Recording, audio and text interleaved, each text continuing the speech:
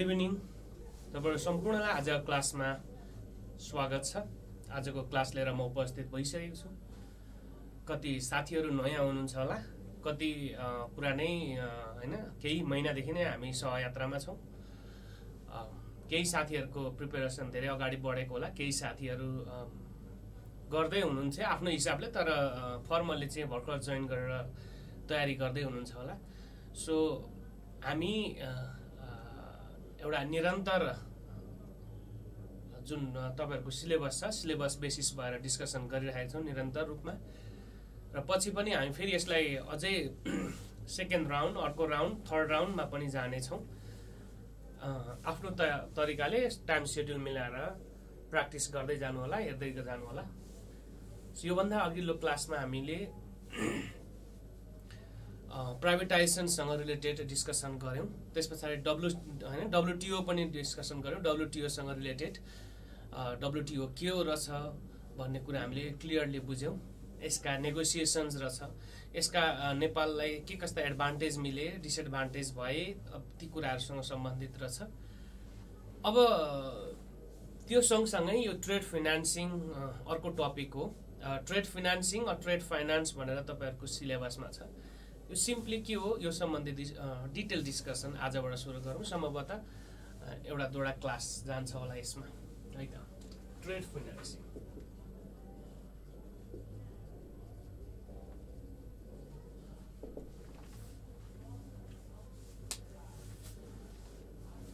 simply trade finance कहाँबाट origin हुन्छ यो कन्सेप्ट कहाँबाट डेभलप हुन्छ भने जब बायर्स र सेलर्स अथवा किन्ने र बेच्ने मान्छे एकअर्कालाई चिनिँदैन। एकले अर्कोलाई होइन थाहा छैन डिटेल्समा थाहा छैन। र इजिली पेमेन्ट गर्ने कुरा र सामान डेलिभरी कुरा गर्ने कुरामा पनि ट्रस्ट गर्न सकिँदैन। होइन? मान्ने दुईटा पार्टिज छन्। दुईटा पार्टिज एकअर्कालाई चिन्दैनन्। हामी यहाँ ट्रेड भन्ने बित्तिकै गुड्स एन्ड सर्भिसको ट्रेडसँग रिलेटेड गरौँ। जस्तो यो चाहिँ के हुन्छ भने लेट से एउटा एउटा एउटा पार्टी यो हुन्छ। लेट से ए भनौँ अर्को पार्टी यो बी हुन्छ। यी ए र बी दुईटाले एकअर्कालाई चिन्दैनन्। अनि एकअर्कालाई विश्वास पनि गरिहाल्दैनन्।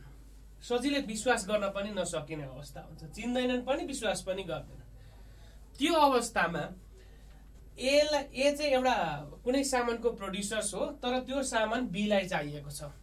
बी चाहिँ त्यसको ट्रेडर्स हो होइन एबाट किनेर ल्याएर अथवा कहीँ बेच्न चाहन्छ आफ्नो लोकेसनमा आफ्नो रिजनमा त्यो सिचुएसनमा अब ट्रेड गर्नुपर्ने भयो त्यस्तो अवस्थामा ट्रेड गर्नुपर्ने भयो भने ट्रेड फाइनेन्सका विभिन्न इन्स्ट्रुमेन्ट्सहरू चाहिँ हामीले युज गर्नुपर्ने हुन्छ अथवा त्यो यी व्यापारी यी- बीले चाहिँ अथवा ए र बीले चाहिँ ट्रेड इन्स्ट्रुमेन्ट्सहरू चाहिँ युज गर्न सक्छन् ट्रेडलाई फाइनेन्स गर्ने इन्स्ट्रुमेन्ट्सहरू युज गर्न सक्छन् जुन अबको हाम्रो डिस्कसन हो।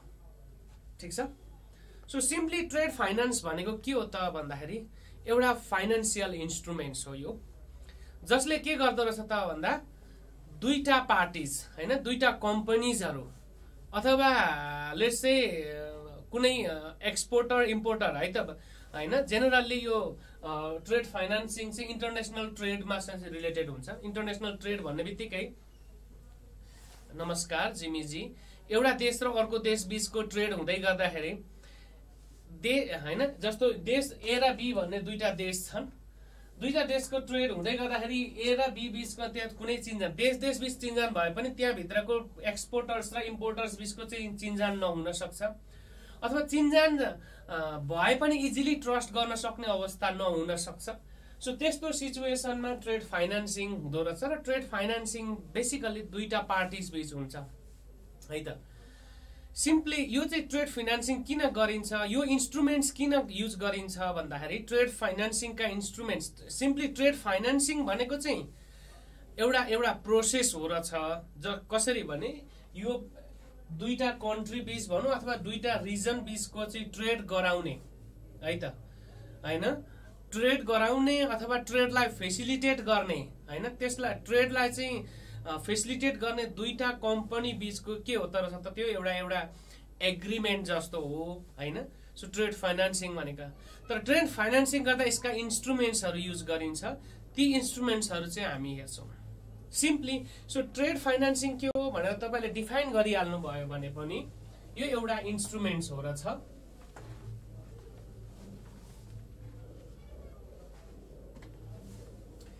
ट्रेड फाइनेन्स भनेको के हो भने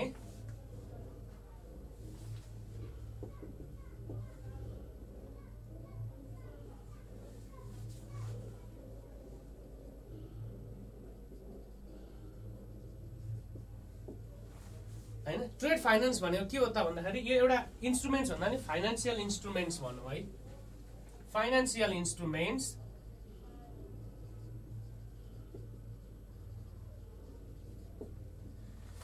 एउटा फाइनेन्सियल इन्स्ट्रुमेन्ट्स हो रहेछ यो चाहिँ के गरिँदो रहेछ त भन्दाखेरि होइन? इन्स्ट्रुमेन्ट्स हो ट्रेड फाइनेन्स ट्रेड होइन? फाइनेन्सिङ भनेको is an financial instruments that are used.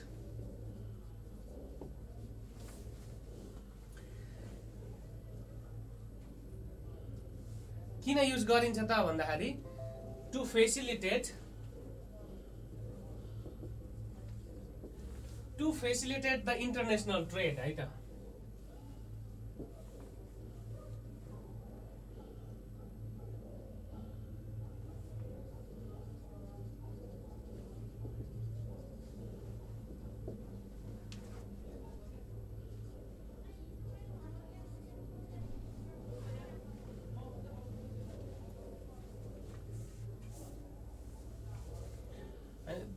Facilitated uh, international trade.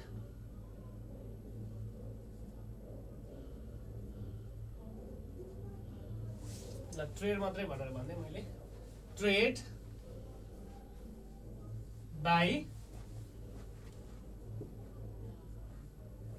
To parties अथवा कम्पनीज दुईटा कम्पनीज अथवा पार्टिजले इन्टरनेसनल ट्रेडलाई फेसिलिटेट गर्न युज गरिने इन्स्ट्रुमेन्ट्स भनेकै फाइनेन्स ट्रेड फाइनेन्सिङ ट्रेड फाइनेन्सले के गर्दो रहेछ त? यसले चाहिँ इन्टरनेसनल ट्रेडलाई स्पेसल्ली एक्सपोर्ट र एक्सपोर्टर र इम्पोर्टरलाई चाहिँ एक्सपोर्टर्सलाई र इम्पोर्टर्सलाई यसले इजी बना होइन? तिनीहरूलाई चाहिँ फाइनेन्सिङमा है त इजी बनाउँछ। र इम्पोसिबललाई पनि पोसिबल बनाउँछ। द्याट मिन्स दुई पार्टी बिचको ट्रेड नहुने सक्ने अवस्थालाई पनि यो फाइनेन्सियल ट्रेड फाइनेन्सिङको इन्स्ट्रुमेन्ट्समा मार्फत चाहिँ ट्रेड हुन सक्छ। जस्तो एकअर्कामा चिनजान छैन एकअर्कामा ट्रस्ट गर्ने गरी गरिहाल्ने अवस्था छैन भने त्यस्तो सिचुएसनमा ट्रेड नहुन सक्छ। तर त्यहाँ फाइनेन्सियल इन्स्ट्रुमेन्ट्सहरू युज गरेपछि अब ट्रेड हुँदो रहेछ। सो फाइनेन्स ट्रेड फाइनेन्सले के गर्दो रहेछ त भन्दा ट्रेडलाई पोसिबल बनाउँदो रहेछ ट्रेडलाई इजियर बनाउँदो रहेछ। ठिक छ? सो ट्रेड फाइनेन्सिङले के गर्दो रहेछ? अहिले हामी यसका केही एडभान्टेजहरू पनि हेरौँला तर बेसिकल्ली ट्रेड फाइनेन्सिङका हामीले इन्स्ट्रुमेन्ट्सहरू चाहिँ अलिकति डिटेल्समा हेर्छौँ है त। ट्रेड फाइनेन्सले के गर्दो रहेछ त भन्दाखेरि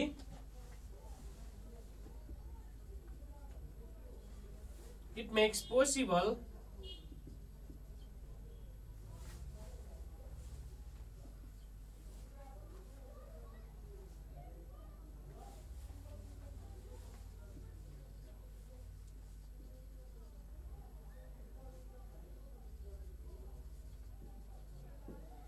it makes the pro uh, transaction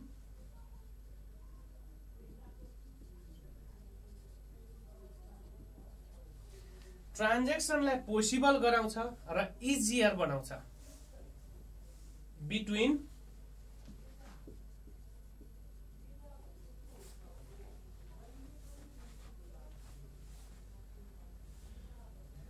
between two parties होइन? Between the parties. यो भनेको के हो भने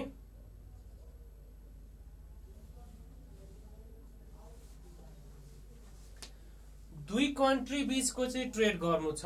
लेट्स से नेपाल र चाइना भनौँ अथवा नेपाल र इन्डिया भनौँ अथवा नेपाल र बङ्गलादेश। तपाईँ एज अ लेट्स चाहिँ तपाईँ इम्पोर्ट गर्दै हुनुहुन्छ। अब बङ्गलादेशबाट सामान तपाईँले ल्याउनु छ भने अब के गर्ने त भन्दाखेरि त्यतिखेर तपाईँलाई ट्रेड इन्स्ट्रुमेन्ट्सहरू इजी त्यहाँ चाहिँ युज गर्नुपर्ने हुन्छ। तपाईँ इजिली त्यो बङ्गलादेशको मान्छेलाई पनि ट्रस्ट गर्न सक्नुहुन्न। र बङ्गलादेशको मान्छेले पनि इजिली तपाईँलाई ट्रस्ट गर्न सक्दैन। लेसे तपाईँले बाङ्ला बङ्गलादेशबाट गार्मेन्ट्स कपडाहरू तपाईँले नेपाल ल्याउनु पर्ने भयो। त्यतिखेर तपाईँले ट्रेड फाइनेन्सका इन्स्ट्रुमेन्ट्सहरू होइन जस्तो ब्याङ्क ग्यारेन्टी भयो अथवा ब्याङ्क ग्यारेन्टी जेनरली त्यो त्यो पनि युज हुन्छ तर धेरै चाहिँ लेटर अफ क्रेडिट होइन प्रतिपत्र भन्छ लेटर अफ क्रेडिट चाहिँ युज गरिँदो रहेछ। सो त्यो युज गर्दा के हुन्छ त भन्दाखेरि तपाईँले यताबाट होइन आफ्नो एउटा ब्याङ्क युज गर्नुहुन्छ उताबाट उसको अर्को एउटा ब्याङ्क हुन्छ र ब्याङ्क बेस ब्याङ्क ब्याङ्क बिचको जुन डकुमेन्ट्स हेरेर चाहिँ अब ट्रान्जेक्सन हुन्छ। ठिक छ? सो सिम्पली ट्रेड फाइनेन्सिङमा ट्रेड फाइनेन्सिङमा त्यो ट्रेड फाइनेन्सिङका इन्स्ट्रुमेन्ट्सहरूले के गराउँदो रहेछ त? ट्रेडलाई चाहिँ पोसिबल र इजियर बनाउँदो रहेछ त्यो पार्टिज बिचमा। जस्तो यो किन गरिन्छ त भन्दाखेरि अब यो ट्रेड ट्रेड फाइनेन्सिङ किन गरिन्छ भन्दाखेरि एउटा चाहिँ रिक्स अभोइड गर्नको लागि होइन। रिक्स जस्तो तपाईँले सामान मगाउँदै हुनुहुन्छ। तपाईँले सुरुमा पैसा उसलाई पठाउन सक्नुहुन्न उसले सामान नपठाइकन। किनभने उसले पैसा पैसा सामान नपठाइदिन पनि सक्छ। उसले पनि सुरुमै तपाईँले पैसा नपठाइदिकन उसले सामान पठाइदिन न होइन उसले पनि सामान पठाउन सक्दैन।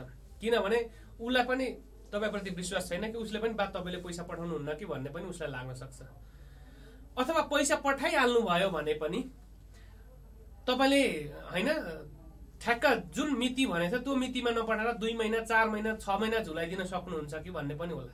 अथवा तपाईँलाई पनि के लाग्न सक्छ भने तपाईँले सामान पैसा पठाइदिनु भयो पहिला अनि त्यस पछाडि उसले चाहिँ सामान चाहिँ पठाइदिएला तर समयमा नपठाइदिएला होइन? दुई महिना चार महिना। तपाईँले जाडोको समय जाडोको कपडाहरू ल्याउनु खोज्नु भएको। तर जाडो गइसके पछाडि तपाईँलाई समय कपडाहरू आयो। अब त्यो भयो भने त फेरि काम लागेन। सो त्यस्तो सिचुएसनमा एक अर्का बिच ट्रस्ट वर्थी ल्याउने एकले अर्कोलाई जुन ट्रान्जेक्सन गराउने इन्टरनेसनल ट्रेड गराउने माध्यम भनेकै के हो त भन्दाखेरि ट्रेड फिनान्सिङ हो रहेछ ठिक छ? सो यसले चाहिँ के गर्दो रहेछ त भन्दाखेरि पेमेन्ट रिक्स हटाउँदो रहेछ। रिक्सलाई चाहिँ मिनिमाइज गर्दो रहेछ होइन? र कहिलेकाहीँ के हुन्छ भने त्यसमा विभिन्न सप्लाई सक्सहरू हुन्छन् करेन्सी फ्लक्चुएसन हुन्छ पोलिटिकल इस्युजहरू भइदिन्छन् विभिन्न नन पेमेन्ट इस्युजहरू भइदिन्छ होइन? अरू विभिन्न किसिमका इस्युजहरू आइदिइरहेका हुन्छन् त्यसलाई चाहिँ मिनिमाइज गर्दो रहेछ। ठिक छ? सो यसले के गर्दो रहेछ त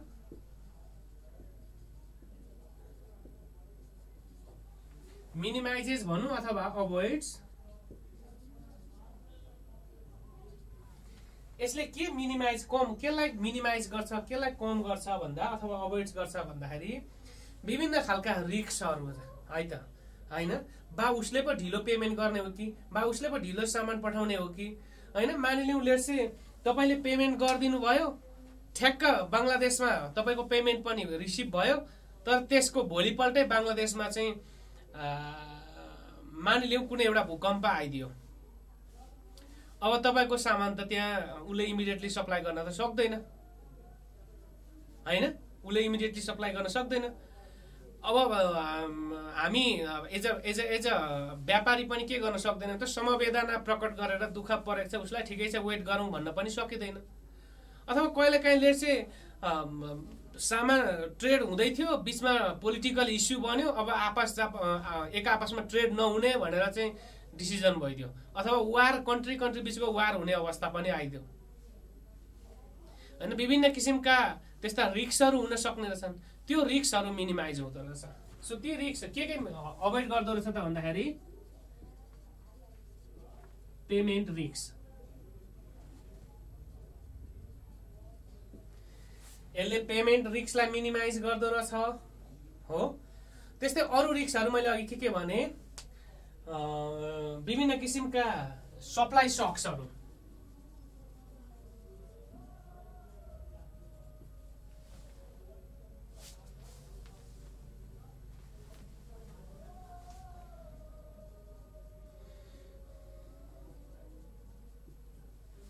सप्लाई सक्सहरू सप्लाई भनेको उतापट्टि सप्लाईमा केही अनएक्सपेक्टेड होइन डिजास्टर्सहरू आइदियो होइन? अब त्यो चाहिँ के के हुनसक्छ त भन्दाखेरि कहिलेकाहीँ तपाईँले पैसा पठाइदिनु भयो स्वाटै करेन्सी डिभालुएसन भइदिन्छ अथवा एप्रिसिएसन भइदिन्छ। त्यो एक्सचेन्ज रेटमा फ्लक्चुएसन आइदिन्छ। अब उसलाई आजको रेटमा पठाउँछु भनेर एग्रिमेन्ट गरेको त्यो रेटमा पठाउँदा उतापट्टि चाहिँ के भइदियो भने धेरै नै घाटा लाग्ने भयो उतापट्टिको देशलाई जसले पठाउनु पर्ने हो। त्यो भयो भने त उसले अल्मलिन सक्छ अब उसले विभिन्न आनाकानी गर्न सक्छ। त्यसमा त फेरि पनि समस्या हुने रहेछ होइन? लाइक के के हुन सक्दो रहेछ त भन्दाखेरि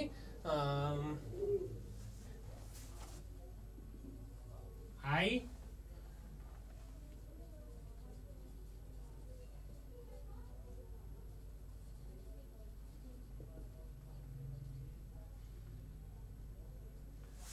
एकदमै हाई करेन्सी फ्लक्चुएसन भनेको दुई कन्ट्री देशको देश दुई देश बिचको एक्सचेन्ज रेट चाहिँ धेरै चेन्जेस हुन्छ। धेरै हाई एकदमै फ्लक्चुएसन भयो। त्यहाँ पोलिटिकल इस्यु आयो अथवा अरू इस्युज आयो होइन? लाइक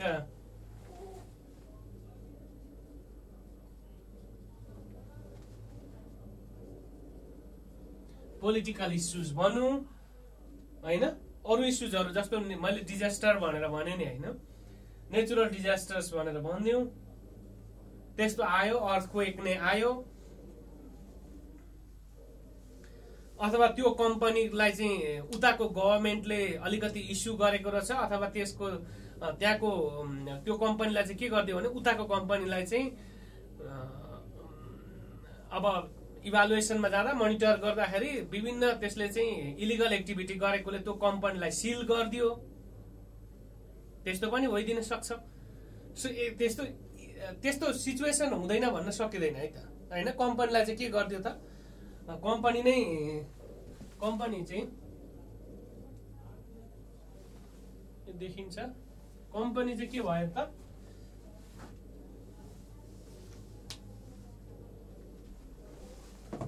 वान मिनट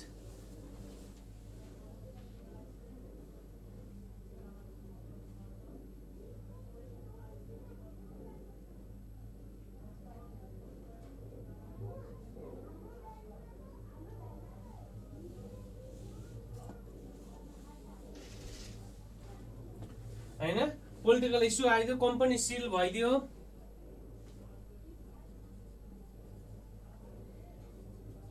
यस्ता विभिन्न केसेसहरू चाहिँ हुँदो रहेछन् है त। कम्पनी सिल्ड भइदियो। होइन? यो यस्ता इस्युजहरूलाई मिनिमाइज गर्न यस्ता इस्युजहरूलाई कम गर्नको लागि अरू इस्युज पनि छन्। अहिले हामी तल हेरौँला। जस्तो इस्युज भन्नाले यसका ट्रेड फाइनेन्सिङ गर्यो भने के एडभान्टेज हुन्छ भन्ने कुरामा? सो त्यो यी कुराहरूलाई मिनिमाइज गर्ने भएकाले हामीले ट्रेड फाइनेन्सिङ गरिँदो रहेछ।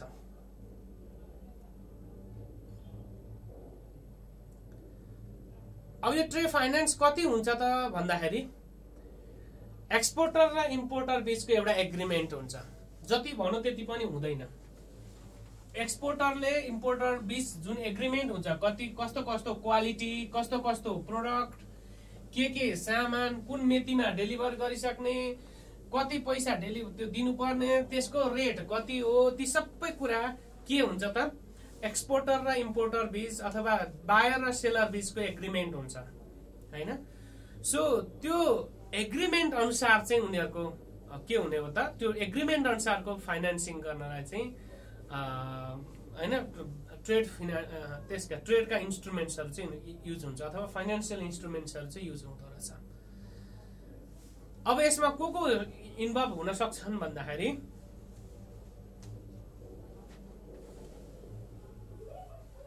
यो चाहिँ के को बेसिसमा हुन्छ त?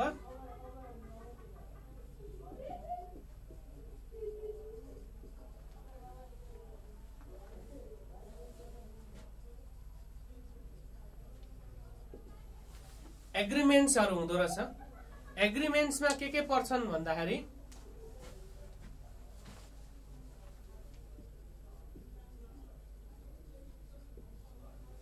के केमा agreements agreements on price quantity quality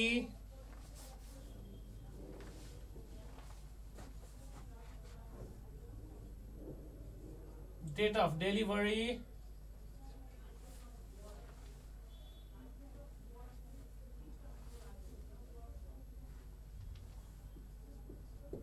यी कुराहरू चाहिँ एग्रिमेन्ट्सको बेसिसमा हुँदो रहेछ। को को बिच त भन्दाखेरि त्यो चाहिँ एक्सपोर्टर र इम्पोर्टर बिच। अब त्यहाँ अरू एग्रिमेन्ट्सहरू पनि हुन्छन्। त्यसलाई एग्री एक्सटेन्ड गर्न मिल्ने कि नमिल्ने त्यो चाहिँ त्यसका इन्स्ट्रुमेन्ट्सका टाइपमा हामी डिस्कसन गर्छौँ। इटिसी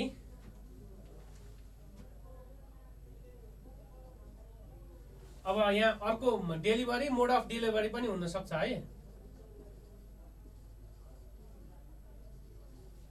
हवाई जहाज मार्फत हो कि गाडी मार्फत हो कि पानी जहाज मार्फत हो कि के मार्फत हो होइन? Mode of delivery etc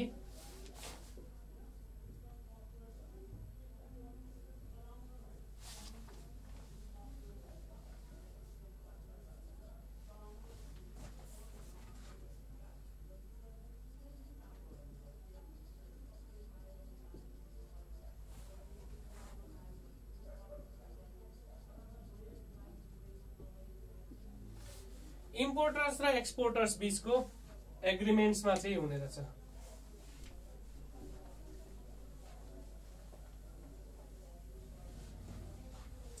अब को को सामेल हुन सक्छन् यसमा? को को पार्टिसिपेट हुन सक्छन् यसमा?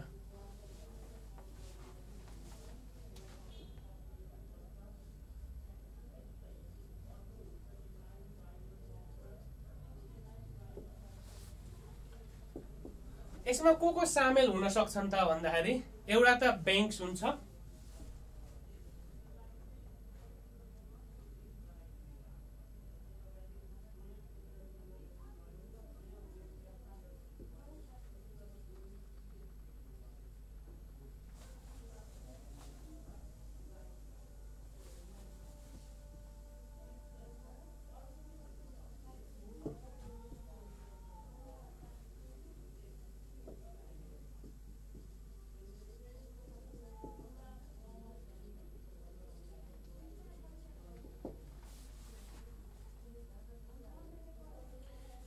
ब्याङ्क हुँदो ब्याङ्क त अभियसली बिचमा आउनु पर्यो एक्सपोर्टर एन्ड इम्पोर्टर्स हुँदो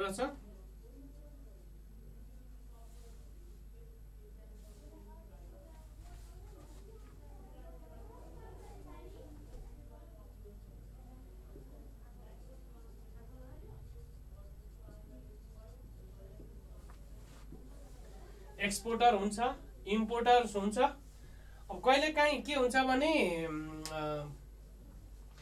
त्यहाँ यो ब्याङ्क्स भन्दा अर्को ब्याङ्क्सहरू पनि राखिएको हुन्छ। यो साना साना ब्याङ्क्सहरू भयो भने सानो ब्याङ्कलाई मात्रै ट्रस्ट गर्ने हुँदैन। यो ब्याङ्कले फेरि अर्को ब्याङ्क्सलाई पनि उसले चाहिँ के लिनुपर्छ त भन्दाखेरि एउटा एउटा जमानी जस्तो होइन ग्यारेन्टी जस्तो बस दिनुपर्छ अब यो यो ब्याङ्क चाहिँ मानिलिउँ नेपालको केसमा त कमर्सियल ब्याङ्क्सहरूलाई दिएको छ होइन। सो मानिलिउँ यो ब्याङ्क चाहिँ अलिकति कमजोर लाग्यो उतापट्टिको ब्याङ्कलाई यो त यो त यो ब्याङ्कसँग विश्वास लागेन भनेर भनौँ भने अलिकति हाई क्रेडिट रेटिङ भएको होइन? क्रेडिट रेटिङ हाई भएको ब्याङ्कको पनि ग्यारेन्टी लिए भनेर भनौँ भने अब यो ब्याङ्कले अर्को ब्याङ्कलाई पनि खोज्नुपर्ने हुनसक्छ। अथवा त्यो जुन बिल अफ लेडिङ भन्ने हुन्छ एक्स एक्सपोर्ट गरिसक्न एक्सपोर्ट गर्दाखेरि जुन एउटा सामान एउटा बिल दिन्छ होइन? जस्तो तपाईँले नेपालबाट युएसए छुर्पी पठाउनु भयो भने एउटा बिल दिन्छ त्यहाँ फाइनल पठाउने बेलामा त्यो बिललाई चाहिँ बिल अफ लेडिङ भन्छ। त्यो बिल अफ लेडिङ नोमिनेसन गर्ने त्यो फाइनल हेर्ने अर्को पनि इन्स्टिट्युसन हुनसक्छ अथवा फाइनेन्सियल कुनै कम्पनी हुनसक्छ। ती पनि यसका यसमा चाहिँ होइन इम्प्लो के हुनसक्छन् त इन्भल्भ हुन सक्छन् सो ट्रेड फाइनेन्सिङ कम्पनीजहरू होइन बेसिकल्ली ब्याङ्क नै नभएर ब्याङ्क जस्तै अरू ट्रेड फाइनेन्सिङ कम्पनी पनि हुनसक्छ।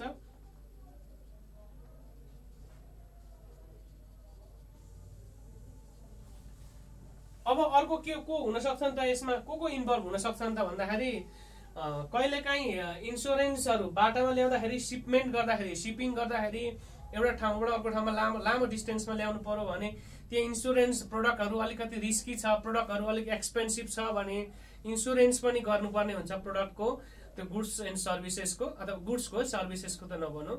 सो त्यो गर्दाखेरि इन्सुरेन्स कम्पनीजहरू पनि यसमा समावेश भइरहेको हुनसक्छ है त। होइन इन्सुरेन्स कम्पनी पनि हुन यसमा समावेश भएको हुनसक्छ र अर्को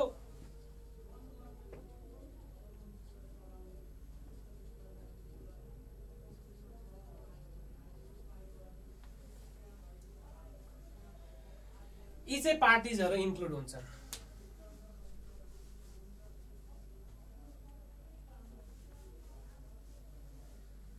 बलरामजीले जस्तो कम्पनी के हुन्छ भने अहिले हामी इन्स्ट्रुमेन्ट्स पढ्छौँ। इन्ट बलरामजी इन्स्ट्रुमेन्ट्स पढेपछि तपाईँलाई अझ डिटेल्समा थाहा हुन्छ। जस्तो तपाईँले यहाँबाट पैसा बङ्गलादेशबाट कपडा मगाउनु भयो यहाँबाट पैसा पठाइदिनु पर्यो पठाइदिनु भयो अगाडि नै होइन? अगाडि नै पठाउनु भयो तपाईँले ट्रेड फाइनेन्सिङका कुनै इन्स्ट्रुमेन्ट्स युज गर्नु भएन तपाईँले विश्वास लाग्यो ल पठाइदियो उसले भन्नु पैसा म सामान तँलाई चाहिएको छ भने पैसा हाल मेरो ब्याङ्कमा भनेर उसले ब्याङ्क एकाउन्ट दियो। तपाईँले पैसा पठाइदिनु भयो उसलाई। त्यस पछाडि ब्याङ्क ब्याङ्क एकाउन्टमा उसको पैसा गइसके पछाडि अब तपाईँले उसले तपाईँलाई सामान डेलिभरी गरिदिन्छ भनेर वेट गरिराख्नु भएको थियो। ल मलाई हप्ता दिनको समय दिए अथवा दस दिनको समय दिए अथवा पन्ध्र दिनको समय दिए तेरो सामान डेलिभरी हुन्छ नेपालमा भनेर भनेको थियो। तर त्यो दस दिनभित्रमा के भइदियो भने चाहिँ त्यो कम्पनी चाहिँ खराब निस्क्यो। उतापट्टि चाहिँ अब विभिन्न होइन इलिगल एक्टिभिटी गरेको रङ्गे हात पक्रियो अथवा रेड ह्यान्ड त्यस्तो केही कारणवश चाहिँ त्यहाँको गभर्मेन्टले त्यहाँको अथोरिटीले त्यो कम्पनीलाई सिल गरिदियो बन्द गरिदियो क्लोज गरिदियो चल्ने अवस्था आएन। भने चाहिँ अब तपाईँको पैसा गयो।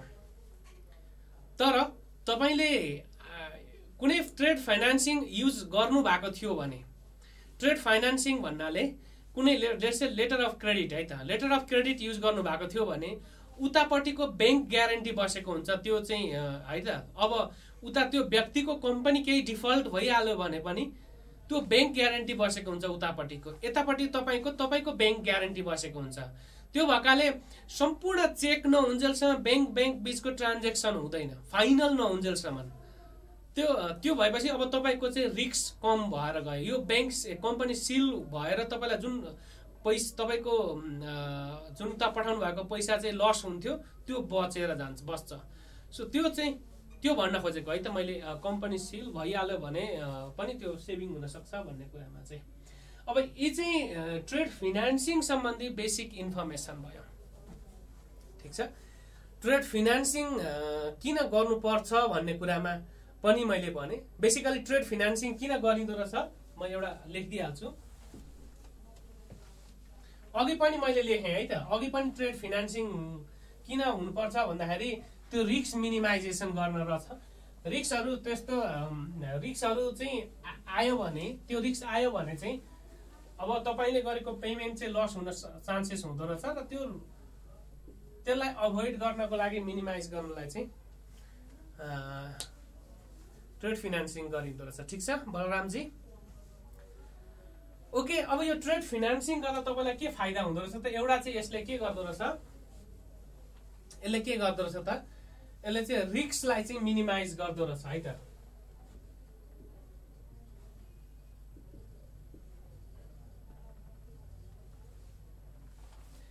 रिक्सलाई मिनिमाइज गर्दो रहेछ होइन? सो यो किन मिनिमाइज हुन्छ भन्दाखेरि मैले अघि पनि भनिहालेँ एकले अर्कालाई इजिली ट्रस्ट गर्ने अवस्था हुँदैन। सो ट्रस्ट गर्ने अवस्था नभएपछि के गर्नुहुन्छ त? जस्तो यो चाहिँ तपाईँ हुनुहुन्छ? होइन?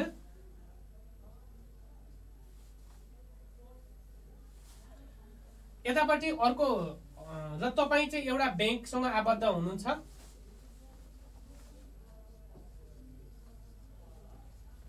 होइन? यो चाहिँ तपाईँको ब्याङ्क हो।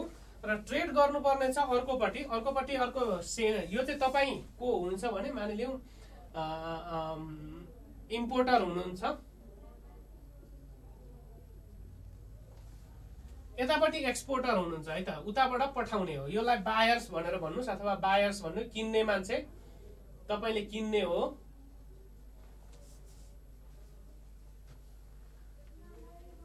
अनि यो चाहिँ सेलर्स हो कि बेच्ने मान्छे भनौँ अथवा एक्सपोर्टर्स हो।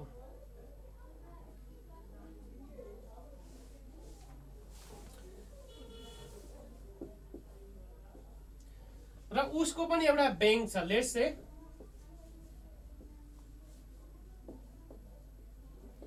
उतापट्टि पनि ब्याङ्क छ।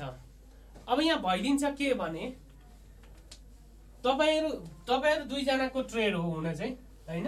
यो चाहिँ लेट्स यतापट्टि राम छ। यतापट्टि चाहिँ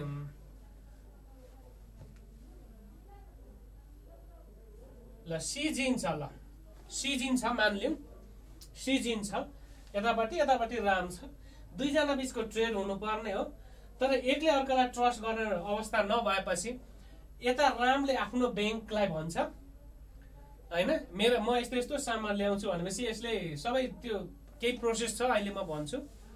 अनि यसले पनि सामान उताबाट इम्पोर्ट गरेपछि यसले एउटा लेटर यताको ब्याङ्कमा पठाइन्छ। यसले जुन ब्याङ्कमा भन्छ त्यो ब्याङ्कमा पठाइदिन्छ केटाहरूले होइन? एउटा लेटर अफ क्रेडिट भन्ने हुन्छ। अनि ब्याङ्कले रिसिभ गरिसके पछाडि यसले के गर्छ त भन्दाखेरि त्यो सबै यसलाई पठाइन्छ र अनि यो हेरेर चाहिँ अब अब चाहिँ दुईजना के एस्युर हुन्छन् पक्का पक्की हुन्छन् भने यसले पनि के सोध्छ अब ब्याङ्कलाई मार्फत जुन लेटर अफ क्रेडिट युज गरिसके पछाडि? अब मेरो सामान काहीँ पनि जाँदैन र समयमै डेलिभर हुन्छ भन्ने कुरा राम एस्युर हुन्छ। भने यतापट्टिको सिजिङ पनि के हुन्छ त भन्दाखेरि मेरो पेमेन्ट पनि काहीँ जाँदैन समयमै पेमेन्ट हुन्छ भन्ने कुरा चाहिँ यो एस्युर हुन्छ। अनि त्यस पछाडि सिपमेन्ट हुन्छ। यताबाट सिपिङ गर्दै गर्दा ट्रान्जेक्सन यताबाट पानी जहाजमा आउँदै गर्दा यताबाट ट्रान्जेक्सन जाँदै गर्छ र यो दुइटै बिचको सेटलमेन्ट हुन्छ। होइन? यतापट्टिबाट यो रामको पक्षबाट ब्याङ्क यो ब्याङ्क ग्यारेन्टी ग्यारेन्टी बसिदिँदो रहेछ। सिजिङको पक्षबाट यो ब्याङ्क ग्यारेन्टी बसिदिन्छ। अनि ती दुईवटा बिचको ट्रान्जेक्सन हुन्छ। सो यसले गर्दा रिक्स मिनिमाइजेसन हुँदो रहेछ एउटा केसमा।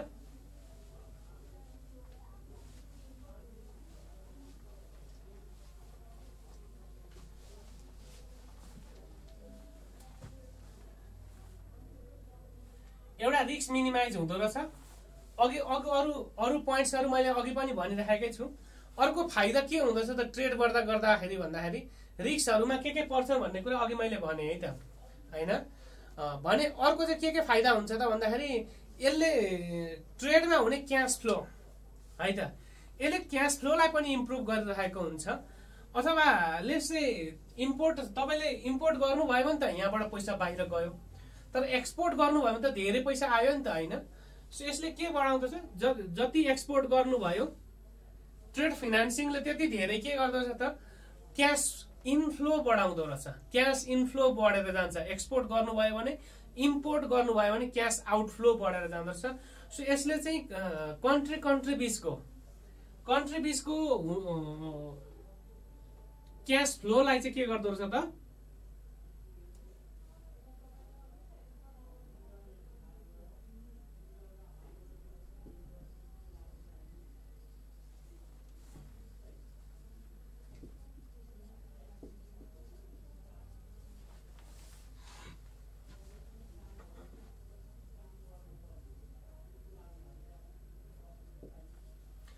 कन्ट्री कन्ट्री बिचको क्यास फ्लोलाई पनि बढाउँदो रहेछ होइन? क्यास फ्लोलाई बढाउँदो रहेछ। र अर्को कुरा के गर्छ त यसले भन्दाखेरि जस्तो कहिलेकाहीँ त्यो ट्रान्जेक्सन गर्दाखेरि ट्रान्जेक्सन गर्दाखेरि डिले भइदियो भने हामीले लु माथि ट्रेड फाइनेन्सिङ गरेनौँ ट्रेड फाइनेन्सिङ नगर्दाखेरि डिले भइदिन सक्यो भने त्यो डिले नहोस्। टाइममै क्यास यताबाट उता डेलिभरी होस् उताबाट पनि टाइममै सामान डेलिभरी होस् भन्ने हिसाबले चाहिँ दुई बिच दुई पार्टी बिच अथवा दुई देश बिचको ट्रान्जेक्सन हुँदो रहेछ। त्यो भनेको मतलब के हुँदो रहेछ जो एक्सपोर्टर्स हो जो इम्पोर्टर्स हो दुवै पक्ष चाहिँ एकदमै कन्सियस हुँदो रहेछन् सिरियस हुँदो रहेछन् यो ट्रेडमा यदि त्यहाँ भने अनुसार एग्रिमेन्ट अनुसार भएन भने केही सर्टेन होइन फाइन्सहरू पनि पे गर्नुपर्ने हुन्छ त्यो चाहिँ हामी अहिले डिस्कसन गर्छौँ त्यो लेटर अफ क्रेडिटको टाइप्समा सो बेसिकल्ली टाइममै डेलिभरी गर्नुपर्ने र टाइममै पेमेन्ट सबै कुरा हुनुपर्ने भएकाले दुवै पक्ष सिरियस हुँदाखेरि त्यहाँ ट्रेडमा के आउँछ त? इफिसियन्सी आएर जाउँछ। आउँछ है त? इफ ट्रेडमा के आउँदो रहेछ त? ट्रेडमा चाहिँ इफिसियन्सी आउँदो रहेछ।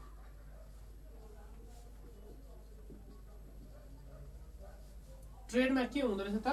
इफिसियन्सी आउँछ। अर्को के हुन्छ त भन्दाखेरि ट्रेड भयो भने गभर्मेन्टलाई फाइदा पनि छ होइन?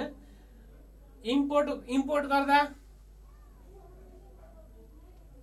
के हुन्छ त? जेनरल्ली इम्पोर्ट गर्दा त त्यत्रो फाइदा छैन तै पनि फाइदा चाहिँ छ। जस्तो सामान मानिलिउँ जाडोको अवस्था जाडोको अवस्थामा नेपालमा प्रड्युस भएका जाडोको कपडाहरूले धान्न सक्ने अवस्था भएन। बाहिरबाट त इम्पोर्ट गर्नु पर्यो। सस्तो सस्तोमा नेपालको महँगो महँगो सामान भए बाहिरबाट सस्तोमा बाहिरबाट सस्तो आउँछ भने तिनीहरूले इम्पोर्ट त गर्नु पर्यो। इभेन अस्ति हामीले डब्लुटिओ पढिसके पछाडि डब्लुटिओको मेम्बर्स भइसके पछाडि इन्टरनेसनल ट्रेड त कमन हो रहेछ ग्लोबल इकोनोमी भइसकेको रहेछ। सो त्यस्तो सिचुएसनले के गर्दो रहेछ त भन्दाखेरि यसले गभर्मेन्ट रेभेन्यूमा पनि इम्प्याक्ट ल्याउँदो रहेछ होइन? यसले के गर्दो रहेछ त? एफएक्स गभर्मेन्ट रेभेन्यू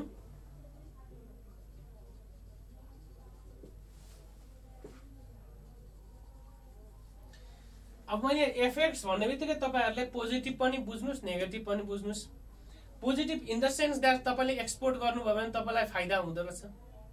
देशलाई फाइदा हुन्छ। किनभने फरेन करेन्सी आउँछ फरेन फरेन करेन्सी आएपछि देशलाई सरकारलाई फाइदा भयो। इम्पोर्ट्स भनेपछि अब क्याप होइन फरेन करेन्सी आउटफ्लो भयो। त्यसले फेरि के हुँदो रहेछ त? नेगेटिभ इम्प्याक्ट पनि पार्न सक्दो रहेछ। सो यो चाहिँ ट्रेड होइन ट्रेड फाइनेन्सिङ गर्नुभयो भने के कस्ता चाहिँ यसले के गर्दो रहेछ त भन्दाखेरि बेनिफिट्सहरू दिन सक्दो रहेछ भन्ने कुरा चाहिँ भयो। अर्को कहिले काहीँ के हुन्छ भने ट्रेड फिनान्सिङले गर्दाखेरि तपाईँसँग पैसा आजै भइदिएन। तपाईँसँग एक महिना पछाडि पैसा हुने भयो तर ट्रेड चाहिँ आजै गर्नुपर्ने छ व्यापार चाहिँ आजै गर्नुपर्ने छ अर्डर चाहिँ आफै आजै गर्नुपर्ने छ कहिलेकाहीँ त्यस्तो अवस्था पनि हुन्छ व्यापारहरूसँग एभ्री डे एभ्री मोमेन्ट पैसा हुन्छ भन्ने कुरा होइन। पैसा भोलिका दिनमा आउँछ।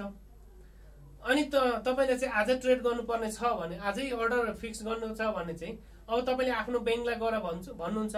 मेरो यो मितिमा यहाँ यो यो स्रोतबाट यसरी पैसा आउँदैछ। मानिलिउँ एक महिना पछाडि तपाईँको फिक्स डिपोजिटको चाहिँ सर्टिफिकेटको म्याचुरिटी सकिँदैछ। अनि त्यस पछाडि तपाईँले त्यो पैसा झिक्न पाउनुहुन्छ। अथवा एक महिना पछाडि चाहिँ तपाईँले काहीँ घर होइन घर बिक्री हुँदैछ अथवा केही केही डकुमेन्ट्स जे छ होइन अथवा जे एसेट्स छ जे जुन कोलाटरल छ त्यो त्यो माध्यमबाट तपाईँ आफ्नो ब्याङ्कलाई एस्योर गर्नुहुन्छ। अनि उसलाई भन्नुहुन्छ मलाई अहिले ट्रेड गर्नु छ अहिले पे गरिदिइरह त्यसको बापतमा सर्ट एन्ड इन्ट्रेस्ट यति भनेर चाहिँ भनिसके पछाडि त्यसले के गर्दो रहेछ त भन्दा ट्रेड आज भयो भोलि पेमेन्ट गर्दा। सो तपाईँसँग भएको कुनै पनि किसिमको फाइनेन्सियल हार्डसिप डिफिकल्टिज फाइनेन्सियल डिफिकल्टिजलाई यसले मिनिमाइज गर्नलाई पनि काम गर्दो रहेछ। तपाईँलाई हार्डसिप है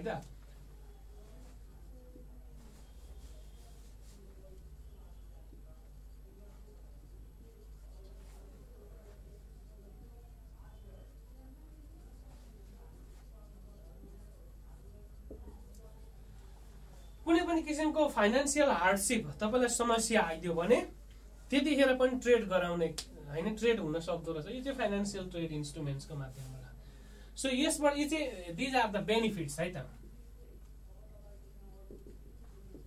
Benefits of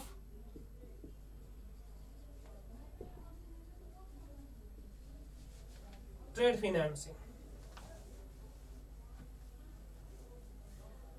trade फिनान्सिङका बेनिफिट्स रहेछन् अब हामी केमा जान्छौँ भने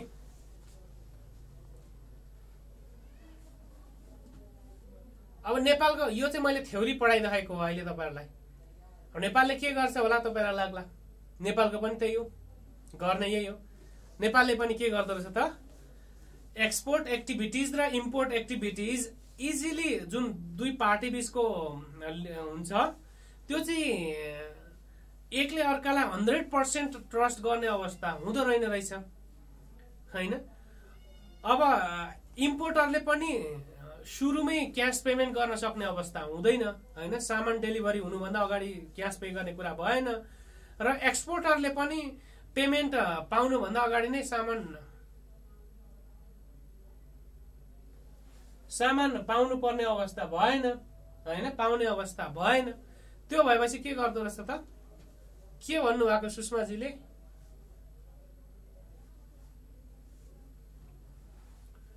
त्यो भइदियो भने के हुँदो रहेछ त? अब चाहिँ ट्रेड फिनान्सिङ हुँदो रहेछ नेपालमा पनि त्यही हो होइन? नेपालमा पनि त्यही हो। तर यो ट्रेड फिनान्सिङ भनेको लङ टर्मको लागि होइन। यो के हो? एउटा अघि तपाईँहरूले त्यो फर्स्टको डेफिनेसनमा डेफिनेसनमा फर द सर्ट रन भनेर भन्नु होला। सर्ट टर्म भनेर भन्दा नि हुन्छ सर्ट टर्म है त। जेनरली सर्ट रन भन्दा नि सर्ट टर्मको लागि हो। डेफिनेसनमा सर्ट टर्म पनि एड गर्नु होला। यो दुई वर्ष पाँच वर्ष पछाडि हुने ट्रेडको लागि होइन। सर्ट टर्मको लागि है त। ठिक छ? It is for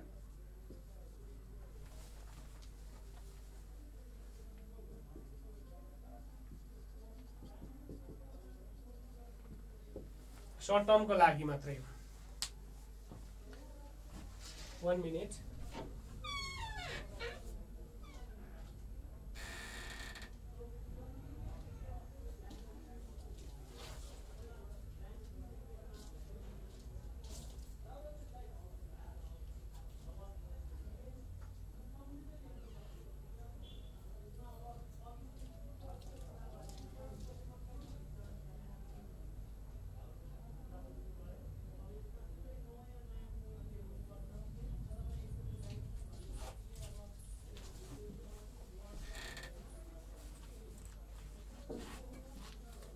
okay. सुषमाजीले पनि यही पोइन्ट्स यो पोइन्ट्सलाई नै बुझ्नु भन्नु खोज्नु भएको भने लेट्स यो पोइन्ट्सलाई भन्नुभएको सुषमाजीले हो भने ट्रेड इफ ट्रेड इफिसियन्सी भनेको के हो भन्दाखेरि जस्तो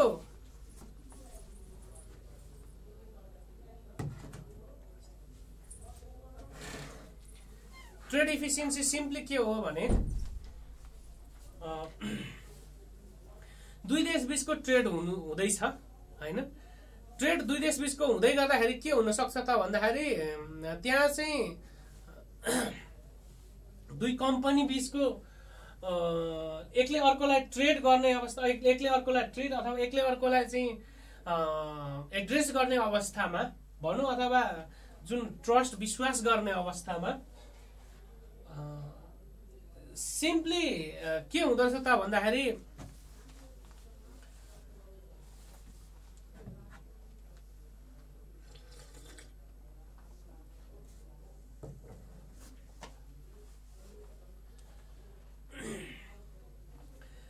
कहिले भनेको समयमा डेलिभरी नहुन चान्सेस हुन सक्छ। अथवा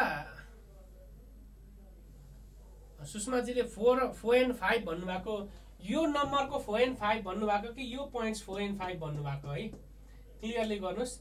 यदि यो भनेको ट्रेड इफिसियन्सी भनेको कहिलेकाहीँ समयमा चाहिँ डेलिभरी नहुन सक्छ तर अब ट्रेड फिनान्सिङ अथवा एग्रिमेन्टमा आइसके पछाडि चाहिँ अब both parties are agreed and they are conscious होइन about deli delivering on time टाइममा डेलिभरी गर्नको लागि दुवै पक्ष चाहिँ अब एकदमै ध्यान दिएर होइन एकदमै कन्सियस हुँदैछन् सचेत हुँदो रहेछन्। र टाइममै ट्रेड गर्ने अथवा टाइममै डेलिभरी गर्ने गर्ने गर्दा रहेछन् कोसिस गर्दा रहेछन्। सो त्यो भएपछि ट्रेडमा के भयो त? इफिसियन्सी भएर आयो होइन? सो त्यो भन्न खोजेको र गभर्मेन्ट रेभेन्यू भनेको त अब सिम्पल यसले चाहिँ एक्सपोर्ट इम्पोर्ट गर्दा गभर्मेन्टलाई पनि त फरेन रेभेन्यू भन्नाले बेसिकल्ली होइन त्यो बोर्डरमा भन्सार लाग्छ अलिकति आम्दानी हुन्छ गभर्मेन्टलाई। एक्सपोर्ट गर्दा इम्पोर्ट गर्दा। सो त्यो चाहिँ भन्न खोजेको। एक्सपोर्ट गर्यो भने फरेन करेन्सी आउँछ होइन देशलाई। फरेन करेन्सी आउनु पनि एक हिसाबले बेनिफिट्स नै हो कन्ट्रीको लागि। अनि इम्पोर्ट गर्दा चाहिँ के हुन्छ त सर्टेन प्रडक्ट्सहरूमा लाग्ने ट्याक्सेसहरू हुँदो रहेछ एक्साइज सरी कस्टम्स ड्युटीहरू भनेर। त्यो पनि बेनिफिट्स नै हो रहेछ। सो भने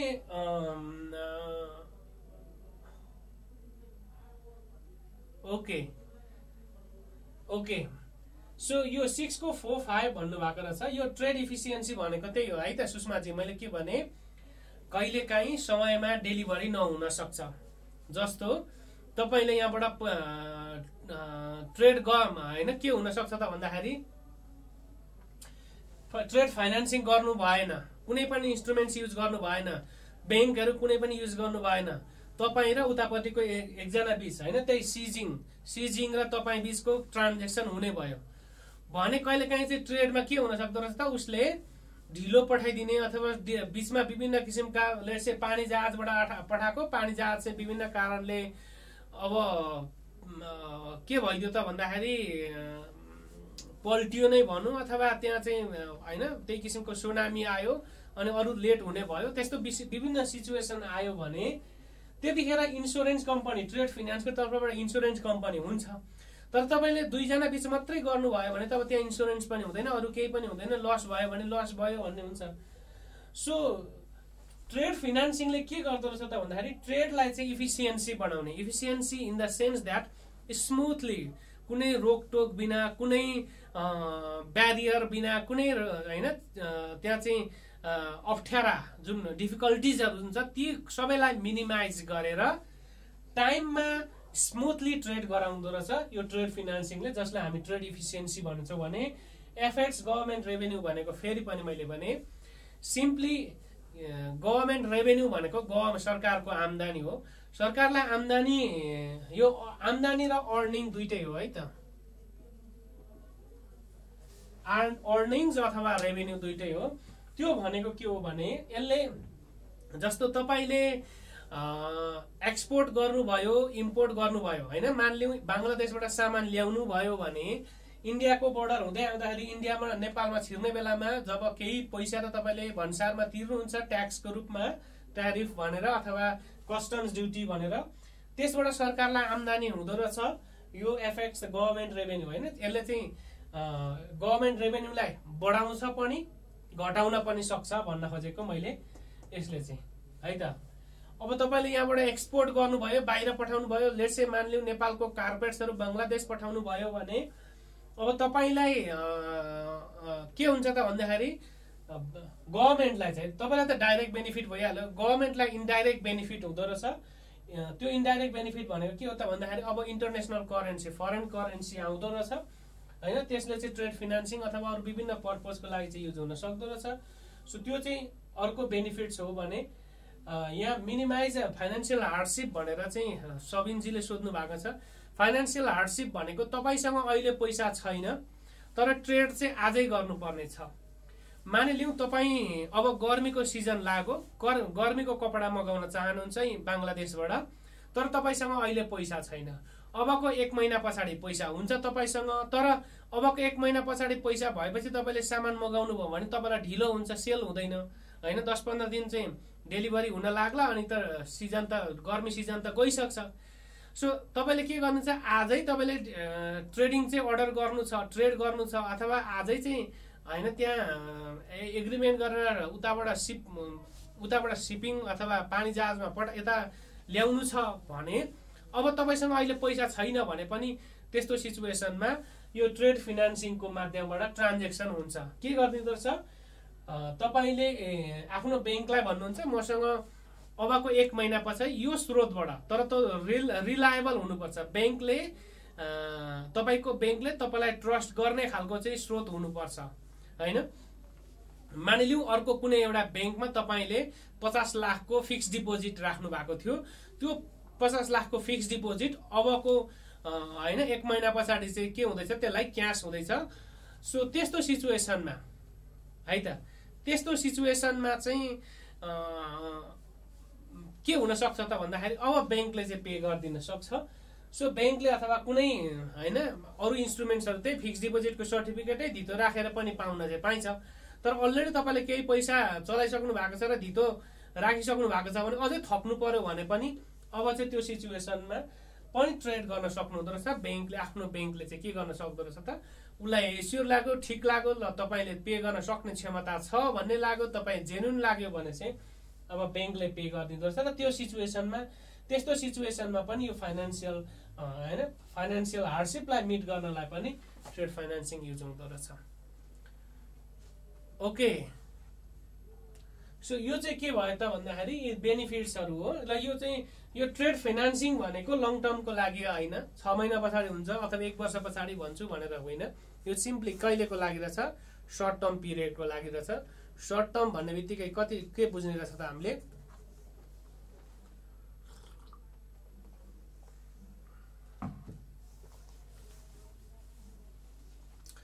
जेनरली एउटा सर्टेन ट्रान्जेक्सन पिरियड्स हो है त। होइन? ओके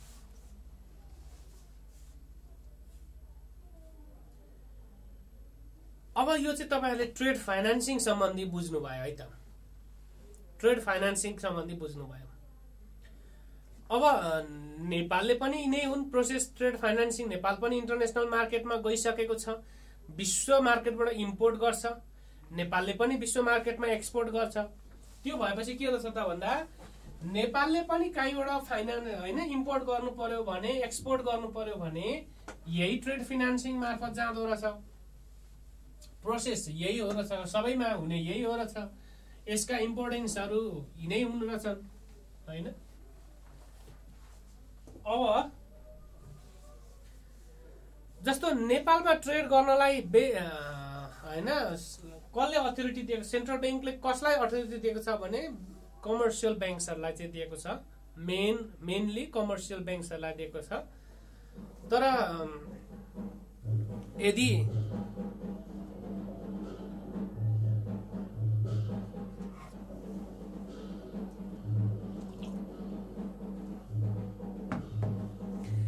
डेभलपमेन्ट ब्याङ्क्सहरूले पनि गर्न चाहे भने कमर्सियल ब्याङ्कबाट कहिले काहीँ ग्यारेन्टी लिएर अथवा उताबाट ट्रस्ट गर्ने अवस्था भइदियो भने त हुन्छ तर जेनरली कमर्सियल ब्याङ्क्सहरूलाई होइन। भनेको मतलब क वर्गका ए क्लासका ब्याङ्क्सहरूले नेपालमा चाहिँ यस्तो क्रे होइन फाइना ट्रेड फाइनेन्सिङका इन्स्ट्रुमेन्ट्सहरू चाहिँ इस्यु गर्ने त्यो चाहिँ युज गर्ने गर्दा रहेछन्। सो सिम्पली अब यसका पेमेन्ट्स मेथड्सहरूमा छन्। पेमेन्ट्स मेथड्समा जानुभन्दा ओके पेमेन्ट्स मेथड्समा जाउँ अनि त्यस पछाडि अलिकति अर्को पोइन्ट्समा डिटेलमा गरौँ। अब कसरी पेमेन्ट्स हुन्छ त? के के मेथड्सबाट चाहिँ ट्रेड फिनान्सिङ हुन्छ भन्दा? अब नेपालमा ट्रेड फिनान्सिङ कसले हेर्छ? नेपालको ट्रेड फिनान्सिङ उद्योग वाणिज्य तथा आपूर्ति मन्त्रालय। उद्योग वाणिज्य तथा आपूर्ति मन्त्रालय अन्तर्गत त्यसको विभागहरू छ। त्यो विभागहरूले हेर्छ होइन? अनि त्यो चाहिँ ब्याङ्कहरूसँग ब्याङ्कहरूले चाहिने डकुमेन्ट्सहरू जुन भनिदिएको छ सेन्ट्रल ब्याङ्कले तोकिदिन्छ यी डकुमेन्ट्स भनेर होइन? अनि त्यस पछाडि त्यो उद्योग विभागले त्यो विभागले चाहिँ हेर्छ ती समन्वयबाट डकुमेन्ट्सहरू यी चाहिने भनेर फाइनल गरिदिएको हुन्छ। अनि त्यो डकुमेन्ट्सहरू कम्प्लिट छ छैन त्यो अनुसार हुन्छ कि हुँदैन सबै कुरा छ कि छैन भन्ने कुरा चेक गरेर फाइनल्ली ब्याङ्कले चाहिँ के गर्ने रहेछ त? त्यो कन्सिडर गर्ने रहेछ सो यसका पेमेन्ट मेथड्सहरू चाहिँ कसरी पेमेन्ट हुन्छ भन्ने कुरामा चाहिँ विभिन्न मेथड्सहरू युज गर्न सक्छ। ती पेमेन्ट मेथड्सहरूमा सरसर्ती डिस्कसन गरौँ अनि त्यस पछाडि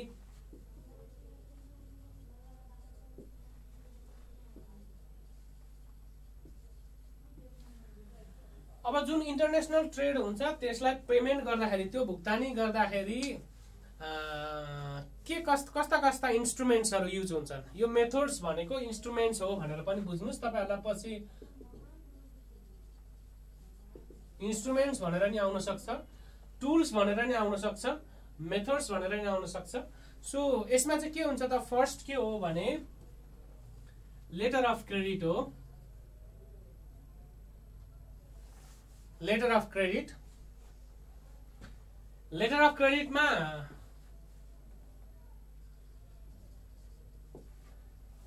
यसलाई लेटर अफ क्रेडिट एलसी भनेर भनौँ।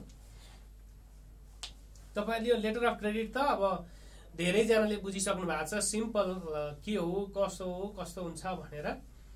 होइन यसको मिनिङ कन्सेप्ट त बुझिसक्नु भएको छ। यो चाहिँ एउटा एउटा एउटा के हो त भन्दाखेरि एउटा जेनरल कमिटमेन्ट हो होइन? यो चाहिँ रिटर्न इन्स्ट्रुमेन्ट्स हो।